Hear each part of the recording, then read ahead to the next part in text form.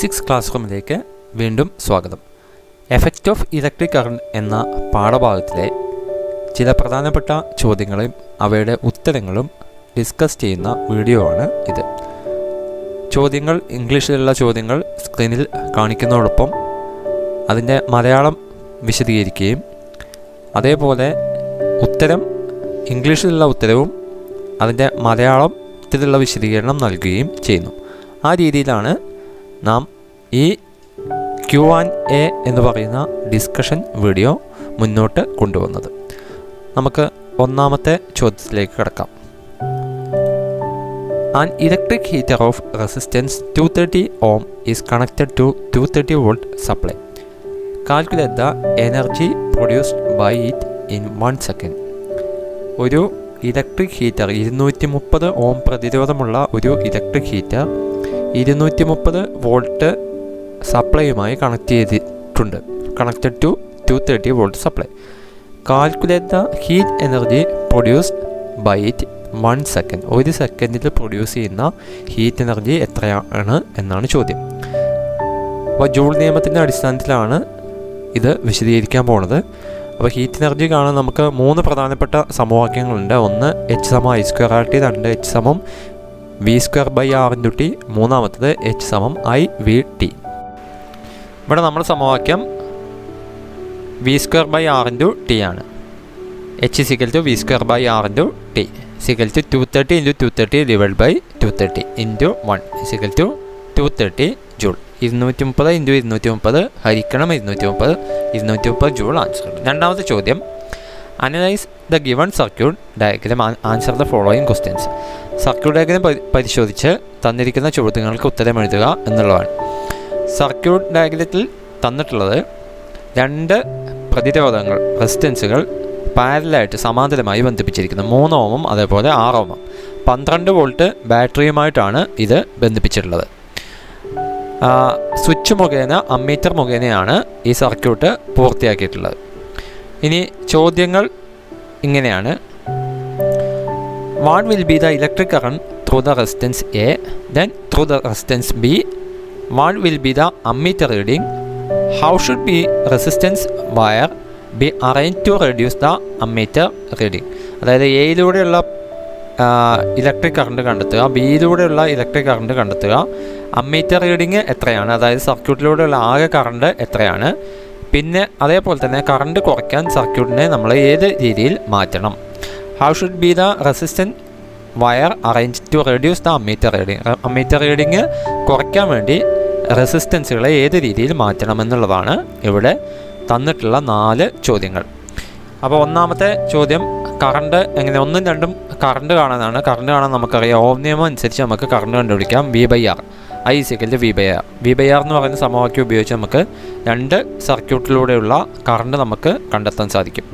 അപ്പോൾ രണ്ട് സർക്യൂട്ട് എന്ന് പറഞ്ഞാൽ ഒന്നാമത്തെ പ്രതിരോധത്തിലൂടെയും അതേപോലെ രണ്ടാമത്തെ പ്രതിരോധത്തിലൂടെയും ഉള്ള കറണ്ട് കണ്ടെത്താനായി കഴിയും. അടുത്ത അമ്മീറ്റർ റീഡിംഗ് ആണ് സർക്യൂട്ടിലെ മൊത്തം കറണ്ട് എത്രയാണ്. അപ്പോൾ ഈ രണ്ട് എയിലൂടെയും ബിയിലൂടെയുള്ള കറണ്ട് കണ്ടെത്തിയാൽ അത് ആഡ് ചെയ്ത് കഴിഞ്ഞാൽ കൂട്ടിക്കഴിഞ്ഞാൽ നമുക്ക് അമ്മീറ്റർ റീഡിംഗ് കിട്ടും. അപ്പോൾ നോക്കാം. Current through A I equal V by R twelve by three is equal to four ampere through B I equal to V by R twelve by six equal to two ampere ഇത് രണ്ടും കൂട്ടിക്കഴിഞ്ഞാൽ നമുക്ക് ammeter reading ലഭിക്കും. അതായത് four plus two six ampere ഇനി ശ്രേണി രൂപത്തിലേക്ക് മാറ്റിക്കഴിഞ്ഞാൽ നമുക്ക് ഇത് കുറയ്ക്കാനായിട്ട് സാധിക്കും. കറണ്ട് കുറയ്ക്കാൻ സാധിക്കും. അപ്പോൾ ശ്രേണി രൂപത്തിൽ മാറ്റുകയാണെങ്കിൽ ഒന്നാമത്തെയും രണ്ടാമത്തെ റെസിസ്റ്റൻസുകൾ ത്രീ ഓമും മൂന്ന് ഓമും ആറ് ഓമും നമ്മൾ ശ്രേണി രൂപത്തിലേക്ക് മാറ്റുക ബന്ധിപ്പിക്കുക. അപ്പോൾ നമുക്ക് സഫല പ്രതിരോധം effective resistance three plus six കാരണം R is equal to R one plus R two ആണ്. അതുകൊണ്ട് three plus six is equal to nine ohm നമുക്ക് എഫക്റ്റീവ് റെസിസ്റ്റൻസ് കിട്ടും. എഫക്റ്റീവ് റെസിസ്റ്റൻസ് കിട്ടിക്കഴിഞ്ഞാൽ വീണ്ടും ഐ നമ്മൾ കാണാം. I equal to V by R so I equal to V by R twelve by nine twelve by nine is equal to one point three three ampere എന്ന് നമുക്ക് കിട്ടും. അടുത്ത ചോദ്യം. Nichrome is not use as filament in filament lamps why filament ലാമ്പിൽ ഫിലമെന്റായി nichrome ഉപയോഗിക്കുന്നില്ല. എന്താണ് ഉപയോഗിക്കാത്തതിനുള്ള കാരണമെന്ന് പറഞ്ഞാൽ നിക്രോം നമുക്കറിയാം. ഹീറ്റിംഗ് കോയിലായിട്ടാണ് നിക്രോം ഉപയോഗിക്കുന്നത്. ഹീറ്ററുകളിലും അങ്ങനെയുള്ള ഹീറ്റ് പ്രൊഡ്യൂസ് ചെയ്യുന്ന ഹീറ്റിംഗ് എഫക്റ്റിന് വേണ്ടിയാണ് നിക്രോം സാധാരണ ഉപയോഗിക്കുക. അപ്പോൾ അങ്ങനെ ഹീറ്റിംഗ് കോയിലായി ഉപയോഗിക്കുന്ന നിക്രോം എന്തുകൊണ്ട് ഫിലമെന്റ് ലാമ്പായിട്ട് ഫിലമെന്റ് ലാമ്പിൽ ഫിലമെന്റ് ആയിട്ട് ഉപയോഗിക്കുന്നില്ല? Answer nichrome can only remain red hot and does not produce white light nichrome ചുവന്ന നിറത്തിൽ ചുട്ടുപഴുത്ത് നിൽക്കുക മാത്രമാണ് ചെയ്യുക. അത് ലൈറ്റ് പ്രൊഡ്യൂസ് ചെയ്യുന്നത്. അങ്ങനെ ലൈറ്റ് പ്രൊഡ്യൂസ് ചെയ്യുകയാണെങ്കിൽ മാത്രമേ നമുക്ക് അതിനെ ഫിലമെന്റിലേക്ക് ഫിലമെന്റ് എന്നുള്ള രൂപത്തിൽ ഉൾപ്പെടുത്താൻ വേണ്ടി കഴിയുള്ളൂ. അതുകൊണ്ട് നിക്രോ നമ്മൾ ഫിലമെന്റായി ഫിലമെന്റ് ലാമ്പിൽ ഉപയോഗിക്കുന്നില്ല. അടുത്ത ചോദ്യം. Ajith says that if we use tungsten as heating coil we will get light energy as well as heat energy അപ്പോൾ അജിത്ത് പറയുന്നു ഹീറ്റിംഗ് ഓയിലായി നമ്മൾ ടങ്സ്റ്റൺ ഉപയോഗിക്കുകയാണെങ്കിൽ നമുക്ക് ലൈറ്റ് എനർജി അതേപോലെ തന്നെ ഹീറ്റ് എനർജിയും ലഭിക്കും എന്നാണ് പറയുന്നത്.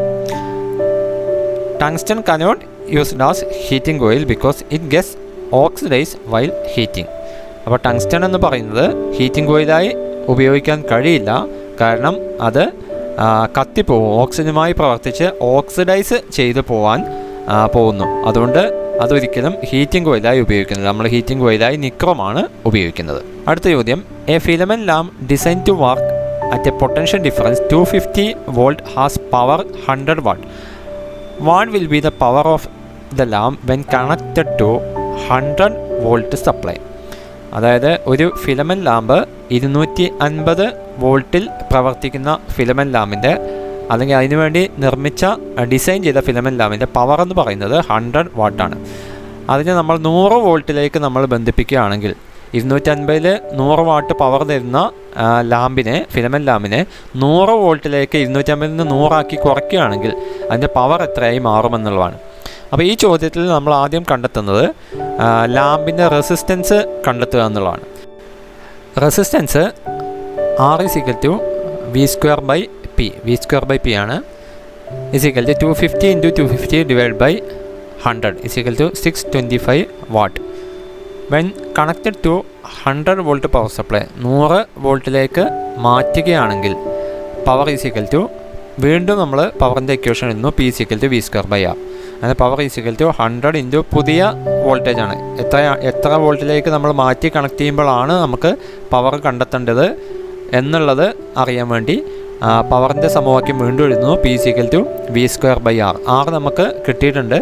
അപ്പോൾ hundred into hundred divide by six twenty five equal to sixteen വാട്ടാണ് നമുക്ക് ആൻസർ ലഭിക്കുക. അടുത്ത ചോദ്യം. A heating coil of ten thousand ohm resistance works in two fifty volt ഇവിടെ ടെൻ തൗസൻഡ് എന്നുള്ളത് തൗസൻഡ് ആക്കി മാറ്റണം. ക്വസ്റ്റ്യനിൽ ചെറിയൊരു കറക്ഷൻ ഉണ്ട്.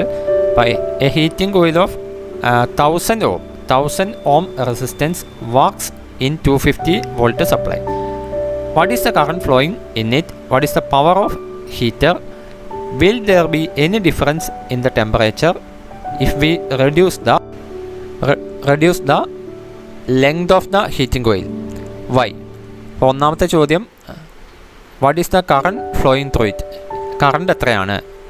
സർക്യൂട്ടിലൂടെ കടന്നു പോകുന്ന കറണ്ട് എത്രയാണ്? അതേപോലെ രണ്ടാമത്തത് പവർ എത്രയാണ്? മൂന്നാമത്തത് ലെങ്ത് കുറയ്ക്ക് കുറച്ച് കഴിഞ്ഞാൽ പവറിൽ എന്തെങ്കിലും വ്യത്യാസം ഉണ്ടായിരിക്കുമോ? അതേപോലെ ടെമ്പറേച്ചറിൽ ഉൽപ്പാദിപ്പിക്കുന്ന താപത്തിൽ എന്തെങ്കിലും മാറ്റം ഉണ്ടാകുമോ എന്നുള്ളതാണ് ചോദ്യം. കറണ്ട് കാണാനുള്ള സമവാക്യം I equal to V by R ആണ്. Two fifty divide by thousand is equal to നമുക്ക് zero point two five ampere കിട്ടും. Power V square by R two fifty into two fifty divide by thousand is equal to sixty two point five മൂന്നാമത്തെ ചോദ്യം length reduce ചെയ്യുക. Length reduce ചെയ്യുമ്പോൾ resistance കുറയുകയാണ് ചെയ്യുക. Resistance കുറയുമ്പോൾ current increase ചെയ്യും. Current increase ചെയ്ത് കഴിയുമ്പോൾ പവർ ഇൻക്രീസ് ചെയ്യുകയാണ് ചെയ്യുക. അടുത്ത ചോദ്യം എൽ ഇ ഡി ലാമ്പുമായി ബന്ധപ്പെട്ടതാണ്. Name any two parts of the lamp write the working name any two instruments or tools used in the making of L E D L E ഡിയുടെ ഭാഗങ്ങളെക്കുറിച്ച് എഴുതാൻ പറയുന്നു. അതേപോലെ എൽ ഇ ഡി നിർമ്മാണത്തിന് ഉപയോഗിക്കുന്ന രണ്ട് ടൂളുകളെക്കുറിച്ച് എഴുതാനും പറയുന്നു. L E D chip board ഒന്നാമത്തത്. എൽ ഇ ഡി കണക്ട് ചെയ്യുന്ന ഭാഗമാണ് L E D chip board രണ്ടാമത്തെ heat sink to absorb heat താപം സ്വീകരിക്കാൻ വേണ്ടി ഉപയോഗിക്കുന്നു. Power supply board required D C D C ആവശ്യത്തിനുള്ള ഡി സി സപ്ലൈ ചെയ്യാൻ നൽകാൻ വേണ്ടി ഉപയോഗിക്കുന്നു. Diffuser cup transmit light outside പ്രകാശം പുറത്തേക്ക് വിടാൻ സഹായിക്കുന്ന ഭാഗമാണ് diffuser cup base unit connect the L E D to the holder ഹോൾഡറുമായി ബന്ധിപ്പിക്കുന്ന ഭാഗമാണ് ബേസ് യൂണിറ്റ് എന്ന് പറയുന്നത്. നിർമ്മാണത്തിന് ഉപയോഗിക്കുന്ന സാധനങ്ങൾ സാമഗ്രികൾ എന്ന് പറയുന്നത് സോൾഡറിങ് ആണ് ഉപയോഗിക്കുന്നു. പ്ലെയർ ഉപയോഗിക്കുന്നു. അതേപോലെ സോൾഡറിങ് ലെഡ് എന്നിവ ഉപയോഗിക്കുന്നു. അടുത്ത ചോദ്യം. ഒരു സർക്യൂട്ട് തന്നിരിക്കുന്നു. സർക്യൂട്ടിൽ A B C D E എന്നിങ്ങനെ മൂ അഞ്ച് പ്രതിരോധങ്ങളുണ്ട്. ഈ പ്രതിരോധങ്ങളുടെയൊക്കെ പ്രതിരോധം എന്ന് പറയുന്നത് റെസിസ്റ്റൻസ് എന്ന് പറയുന്നത് റെസിസ്റ്റേഴ്സിന്റെ റെസിസ്റ്റൻസ് എന്ന് പറയുന്നത് ടെൻ ഓം വീതമാണ്. അത് ട്വൽവ് വോൾട്ട് ബാറ്ററിയുമായി ബന്ധിപ്പിച്ചിരിക്കുന്നു. അപ്പോൾ ഇങ്ങനെയാണ് ചിത്രം തന്നിരിക്കുന്നത്. സ്വിച്ച് ഉണ്ട് അമ്മീറ്റർ ഉണ്ട്. ചോദ്യം നമുക്ക് നോക്കാം. Calculate the effective resistance of the circuit സർക്യൂട്ടിന്റെ എഫക്റ്റീവ് റെസിസ്റ്റൻസ് കണ്ടുപിടിക്കുക what is the electric current through the circuit സർക്യൂട്ടിലൂടെയുള്ള current എത്രയാണെന്ന് കണ്ടെത്തുക. ഇത്രയുമാണ് കാണാൻ വേണ്ടി പറഞ്ഞിട്ടുള്ളത്. അപ്പോൾ സഫല പ്രതിരോധം കാണാൻ പറയുന്നുണ്ട്. അതേപോലെ കറണ്ട് കാണാൻ പറയുന്നുണ്ട്. നമ്മുടെ സർക്യൂട്ട് ഇങ്ങനെയാണ്. A B C D E അതിൽ എയും ബിയും ശ്രേണി രൂപത്തിലാണ് സീരീസ് ആയിട്ടാണ് ബന്ധിപ്പിച്ചിരിക്കുന്നത്. സിയും ഡിയും സീരീസ് ആയിട്ട് ശ്രേണി രൂപത്തിലാണ് ബന്ധിപ്പിച്ചിരിക്കുന്നത്. ഈ എയ്ക്കും ബിക്കും ശ്രേണി രൂപത്തിലുള്ള എയും ബിയും ഒന്നിച്ച് ഒരു റെസിസ്റ്റൻസ് ആക്കി റെസിസ്റ്റർ ആക്കി മാറ്റി അല്ലെങ്കിൽ അങ്ങനെ നമ്മൾ കൺസിഡർ ചെയ്യുകയാണെങ്കിൽ സിയും ഡിയും അതേപോലെ തന്നെ കൺസിഡർ ചെയ്യുകയാണെങ്കിൽ നമുക്ക് മുകളിൽ ഒരു റെസിസ്റ്റൻസും താഴെ ഒരു റെസിസ്റ്റൻസും സെന്ററിൽ ഒന്നും എന്നുള്ള രൂപത്തിലാണ് നമുക്ക് കിട്ടുക. അപ്പോൾ അങ്ങനെയാണെങ്കിൽ എഫക്റ്റീവ് റെസിസ്റ്റൻസ് കാണാൻ ആദ്യം മുകളിലുള്ള രണ്ടും നമ്മൾ കൂട്ടുന്നു ആഡ് ചെയ്യുന്നു. അപ്പോൾ ടെൻ പ്ലസ് ടെൻ ട്വന്റി കിട്ടും. അതേപോലെ താഴെയുള്ള രണ്ടും നമ്മൾ ആഡ് ചെയ്യുന്നു ടെൻ പ്ലസ് ടെൻ ട്വന്റി കിട്ടും. അങ്ങനെ വൺ ബൈ ആർ നമ്മൾ കാണുന്നു one by R is equal to one by twenty plus one by ten plus one by twenty is equal to four by twenty കിട്ടും. അതേപോലെ one by R ആണ് four by twenty R is equal to twenty by four is equal to five ohm അതേപോലെ current V by R ആണ് twelve by five twelve വോൾട്ടാണ് നമ്മൾ supply കൊടുത്തിട്ടുള്ളത് five നമുക്കിപ്പോൾ answer കിട്ടി. Twelve by five to two point four ampere എന്ന് നമുക്ക് current ലഭിക്കുകയും ചെയ്യും. സർക്യൂട്ടിന്റെ ആകെ കറണ്ട് ലഭിക്കുകയും ചെയ്യും. അടുത്ത ചോദ്യം. Resistance of a twenty centimetre long conductor is twenty ohm ഇരുപത് സെന്റിമീറ്റർ നീളമുള്ള ഒരു കണ്ടക്ടറിന്റെ റെസിസ്റ്റൻസ് എന്ന് പറയുന്നത് ട്വന്റി ഓം ആണ്. The conductor is bent in circular loops loops connected connected the circuit as the given diagrams അപ്പോൾ ഇത് ഞാൻ രണ്ട് രീതിയിൽ ബന്ധിപ്പിച്ചിരിക്കുന്നു. ഒന്നാമത്തെ രീതി എന്ന് പറഞ്ഞാൽ എയും ബിയുമാണ് പൊട്ടൻഷ്യൽ ഡിഫറൻസ് കൊടുക്കുന്ന രണ്ട് എൻഡ് എന്ന് പറയുന്നത്. രണ്ടാമത്തെ ഒരു സർക്കുലർ രൂപത്തിലേക്ക് ലൂപ്പാക്കി മാറ്റിയ ശേഷം അതിന്റെ സെന്ററിലാണ് കണക്ഷൻ കൊടുത്തിട്ടുള്ളത്. അപ്പോൾ നമുക്ക് മനസ്സിലാക്കാം. ഫസ്റ്റ് സർക്യൂട്ടിൽ അതിന്റെ പൂർണ റെസിസ്റ്റൻസ് കംപ്ലീറ്റ് റെസിസ്റ്റൻസും എഫക്റ്റീവായ രീതിയിലാണ് സർക്യൂട്ടുള്ളത് എയിൽ നിന്ന് സ്റ്റാർട്ട് ചെയ്ത് അങ്ങനെ കംപ്ലീറ്റ് കണ്ടക്ടറിലൂടെ പാസ് ചെയ്തിട്ട് വേണം ബിയിലെത്താൻ രണ്ടാമത്തെ അങ്ങനെയല്ല സെന്ററിലൂടെയാണ് അപ്പോൾ അങ്ങനെയാണെങ്കിൽ നമുക്ക് പറയാം സെക്കൻഡ് സർക്യൂട്ടിൽ ട്വന്റി ആണ് ടോട്ടൽ റെസിസ്റ്റൻസ് എങ്കിൽ ടെൻ ഓമ മുകളിലും ടെൻ ഓമ താഴെയും എന്നുള്ള രൂപത്തിലാണ് സെക്കൻഡ് സർക്യൂട്ട് കൊടുത്തിട്ടുള്ളത്. അപ്പോൾ ഫസ്റ്റ് സർക്യൂട്ടിന്റെ റെസിസ്റ്റൻസ് എത്രയാണ് ചോദിച്ചു കഴിഞ്ഞാൽ നമുക്ക് പറയാൻ സാധിക്കും അത് ട്വന്റി ഓം തന്നെയാണ്. രണ്ടാമത്തെ സർക്യൂട്ടിലെ റെസിസ്റ്റൻസ് എത്രയാണ് ചോദിച്ചു കഴിഞ്ഞാൽ പറയാൻ പറ്റും മുകളിൽ ടെൻ ആണ് താഴെ ടെൻ ആണ്. അപ്പോൾ one by ten plus one by ten equal to two by ten one by R equal to two by ten R is equal to ten by two is equal to five ohm എന്ന് കിട്ടും. First സർക്യൂട്ടിലെ twenty ഓം റെസിസ്റ്റൻസും second സർക്യൂട്ടിൽ five ohm റെസിസ്റ്റൻസുമാണ് നമ്മുടെ സർക്യൂട്ടിൽ തന്ന ഫിഗറിൽ ഉള്ളത്. അടുത്ത ചോദ്യം. Power of a bulb which works in two twenty volt is hundred watt when the voltage in the circuit decreases the power becomes twenty five watt what will be the voltage at that time നമ്മൾ ഇതിന് മുമ്പ് ഇതേപോലെ ഒരു ചോദ്യം കണ്ടിരുന്നു. അതിൽ പറഞ്ഞിരിക്കുന്നത് വോൾട്ടേജും അതേപോലെ പവറും തന്നിട്ടുണ്ടായിരുന്നു. അതിന് ശേഷം വോൾട്ടേജ് ഇത്ര കുറയുകയാണെങ്കിൽ പവർ എത്രയായി മാറും എന്നാണ് അവിടെ പറഞ്ഞത്. പക്ഷേ ഇവിടെ പറയുന്നത് വോൾട്ടേജും അതേപോലെ പവറും തന്നിട്ടുണ്ട്. ഒരു ഉപകരണത്തിന്റെ സപ്ലൈ വോൾട്ടേജ് അത് പ്രവർത്തിക്കുന്ന വോൾട്ടേജും അതേപോലെ അതിന്റെ പവറും മാക്സിമം പവറും ആ സമയത്ത് തന്നിട്ടുണ്ട്. പിന്നെ ട്വന്റി ഫൈവ് വാട്ട് പവറായി മാറണമെങ്കിൽ ഇത് എത്ര വോൾട്ടേജ് ഇത് കുറയ്ക്കണം? എത്ര വോൾട്ടേജ് ആക്കി മാറ്റണം എന്നുള്ളതാണ് ഇവിടെ ചോദ്യം. അവിടെ അങ്ങനെയുള്ള വോൾട്ടേജ് തന്ന ശേഷം പറയുകയായിരുന്നു ചെയ്തത്. ഇവിടെ നമ്മൾ റെസിസ്റ്റൻസ് കാണുന്നു. വി സ്ക്വയർ ബൈ പി ആണ്. നമുക്ക് നാനൂറ്റി എൺപത്തിനാല് ഫോർ എയ്റ്റി ഫോർ ഓം ആണ് നമുക്ക് റെസിസ്റ്റൻസ് കിട്ടുക. അതിന് ശേഷം പവറല്ല ഇവിടെ കാണേണ്ടത് വോൾട്ടേജ് ആണ്. അതുകൊണ്ട് voltage is equal to V square is equal to R into P ആണ്. ആ V square is equal to twenty five into four eighty four is equal to twelve thousand hundred volt നമുക്ക് കിട്ടും. V square ആണ്. നമുക്ക് അതിൽ നിന്ന് V കാണണം V equal to square root of twelve thousand hundred is equal to hundred volt എന്ന് കിട്ടും. അടുത്ത ചോദ്യം. ഒരു മാറ്റ് ദ ഫോളോയിങ് ടൈപ്പ് ആണ്. ഇതിനു മുമ്പ് നമ്മൾ മറ്റൊരു ക്വസ്റ്റ്യന്റെ ആൻസറായി ഇത് എഴുതിയിട്ടുണ്ടായിരുന്നു. മാറ്റ് ദ ഫോളോയിങ് നടത്താൻ വളരെ എളുപ്പമാണ്. ഒരു ഭാഗത്ത് എൽ ഇ ഡിയുമായി ബന്ധിപ്പിച്ച അതിന്റെ ഭാഗങ്ങളും രണ്ടാമത്തെ സെക്ഷനിൽ അത് എന്തിനാണ് ഉപയോഗിക്കുന്നത്? എന്നുള്ള രീതിയിലാണ് ഇവിടെ കൊടുത്തിട്ടുള്ളത് എയും ബിയും ഫസ്റ്റ് ഹീറ്റ് സിങ്ക് ആണ് ഹീറ്റ് സിങ്ക് എന്ന് പറയുന്നത് system to absorb heat energy